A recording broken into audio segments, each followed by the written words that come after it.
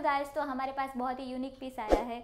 वो है decorative lamp piece में भी आप रख सकते हो और इधर बहुत ही सारा आप लोगों के मन पसंदीदा कलर भी है। इसको फोल्ड करोगे तो ये लैम्प बन जाएगा और ये शॉपिस में भी आप रख सकते हो। तो ये बहुत ही कम प्राइस में डिओ डेप में मिलता है। अगर आपको बाय करना है तो आप लोग डिओ डेप में विज़िट कीजिए और बाय कीजिए। Thank you